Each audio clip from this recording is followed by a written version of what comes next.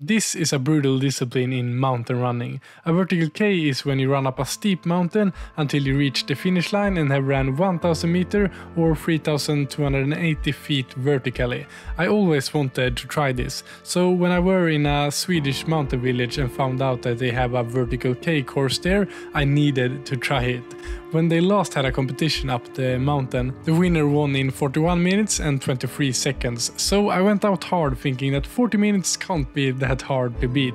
But I quickly found out that in these kind of races, the pain in your legs quickly become intense. And just as I was ready to fight the last bit to the finish, I found myself in a snowstorm and struggled to see the trail.